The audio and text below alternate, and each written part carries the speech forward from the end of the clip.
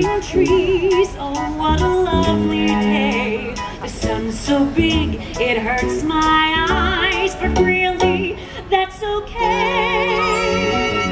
A brand new day with things to do, so many plans to make. I've had six cups of coffee, so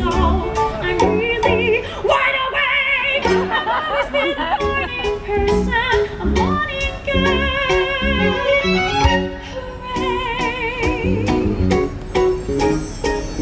Cheep, cheep, cheep, cheep, cheep, cheep,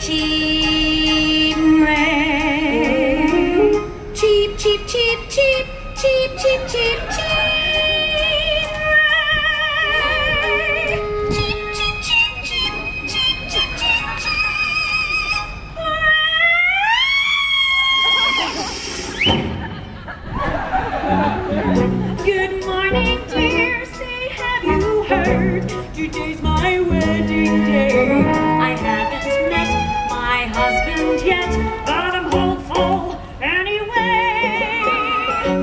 Our gown will have a ball and dance to it. He'll take me in his massive arms and spin me around the floor. I've always been a morning person, a morning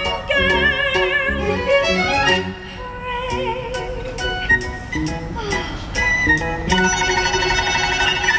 oh,